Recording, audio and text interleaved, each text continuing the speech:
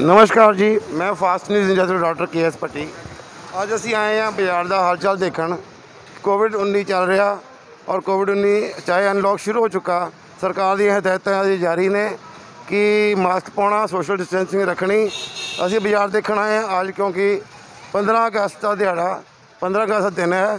ਆਪਾਂ ਦੇਖਦੇ ਹਾਂ, ਅੱਜ ਅਸੀਂ ਆਏ ਹੋਏ ਪ- ਪੈਟਰੋਲ ਪੰਪ ਦੇ ਉੱਪਰ। ਪੈਟਰੋਲ ਪੰਪ ਦੇ ਉੱਪਰ ਸਰਕਾਰ ਦੀਆਂ ਹਦਾਇਤਾਂ ਦਿੱਤੀਆਂ ਹੋਈਆਂ ਕਿ ਸੋਸ਼ਲ ਡਿਸਟੈਂਸਿੰਗ ਰੱਖਣੀ ਹੈ ਮੋਟਰਸਾਈਕਲ ਤੇ। ਡਬਲ ਸਵਾਰੀ ਨਹੀਂ ਕਰਨੀ ਔਰ ਬਿਨਾ ਮਾਸਕ ਤੋਂ ਤੇਲ ਨਹੀਂ ਮਿਲਣਾ ਚਾਹੀਦਾ। ਇਹ ਜਿਹੜੇ ਬਿਨਾ ਮਾਸਕ ਤੋਂ ਤੇਲ ਜਨ ਦਿੰਦੇ ਆਪਾਂ ਚੈੱਕ ਕਰ ਰਹੇ ਹਾਂ ਕਿ ਕਿਹੜੇ ਕਿਹੜੇ ਬੰਦੇ ਇਦਾਂ ਦੇ ਹੈਗੇ ਜਿਹੜੇ ਬਿਨਾ ਮਾਸਕ ਤੋਂ ਹੁੰਦੇ। ਉਹਨਾਂ ਨੂੰ ਤੇਲ ਦਿੱਤਾ ਜਾ ਰਿਹਾ ਜਾਂ ਨਹੀਂ ਦਿੱਤਾ ਜਾ ਰਿਹਾ।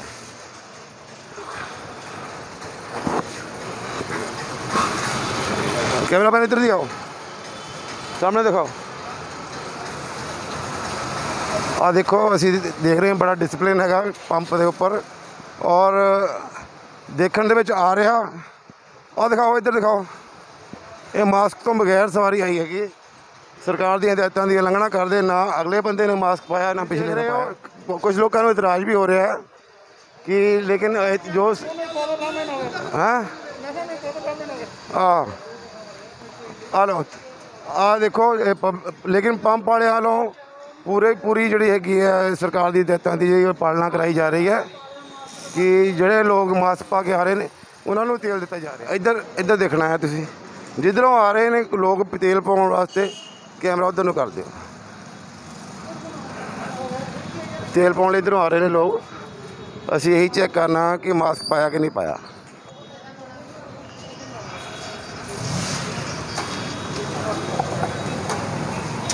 ਪੰਪ ਵੱਲੋਂ, ਪੈਟਰੋਲ ਪੰਪ ਦੇ ਉੱਪਰ ਜੋ ਹੈ ਕਿ ਸਰਕਾਰ ਦੀ ਹਦਾਇਤਾਂ, ਉਹਨਾਂ ਦੀ ਪਾਲਣਾ ਕਰਾਈ ਜਾ ਰਹੀ ਹੈ ਕਿਉਂਕਿ ਪੰਪ ਨੂੰ ਸਰਕਾਰ ਉਹਨਾਂ ਬੰਦਿਆਂ ਨਾਲ ਹੈ ਜਿਨ੍ਹਾਂ ਨੇ ਤੇਲ ਪਾਉਣ ਲਈ ਇੱਥੇ ਆਉਣਾ।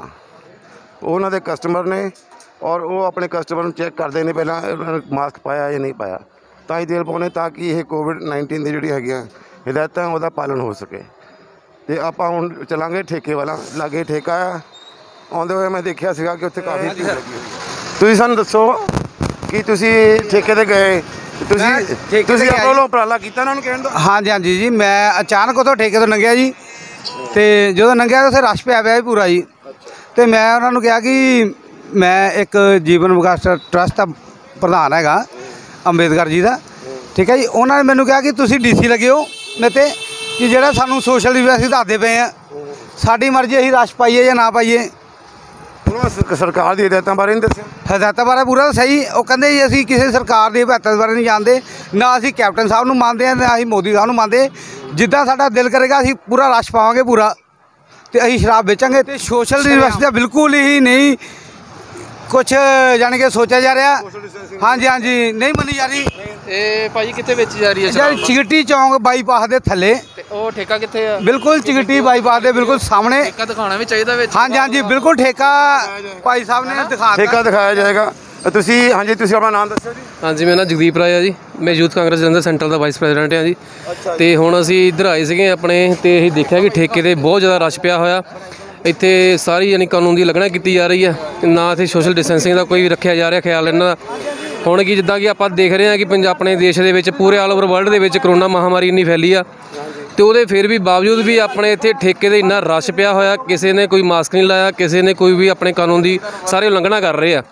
ਉਹਦੇ ਦੇਖੋ ਫਿਰ ਵੀ ਆਪਾਂ ਠੇਕੇ ਵਾਲੇ ਕਰੀ ਤੁਹਾਨੂੰ ਲੈ ਕੇ ਜਾਵਾਂਗੇ ਦੇਖੋ ਜਾ ਕੇ ਉੱਥੇ ਕੀ ਮਾਹੌਲ ਕੀਤਾ ਹੋਇਆ ਇਹਨਾਂ ਨੇ ਤੇ ਸ- ਜਿਹੜੀ ਦਾਰੂ ਆ, ਸਸਤੇ ਰੇਟਾਂ ਤੇ ਵੇਚੀ ਜਾ ਰਹੀ ਆ। ਸਰਕਾਰ ਨੇ ਹਦਾਇਤਾਂ ਕੀਤੀਆਂ ਕਿ ਜਿਹੜਾ ਦੁਕਾਨਦਾਰ ਆ, ਕੋਈ ਵੀ ਇਦਾਰੇ ਵਾਲਾ ਆ, ਉਹ ਆਪਣੇ ਜਿਹੜੇ ਇਦਾਰੇ ਦੇ ਬਾਹਰ ਸੋਸ਼ਲ ਡਿਸਟੈਂਸਿੰਗ ਸੈਨੀਟਾਈਜੇਸ਼ਨ ਔਰ ਮਾਸਕ ਪਾਉਣ ਦਾ ਜ਼ਿੰਮੇਵਾਰ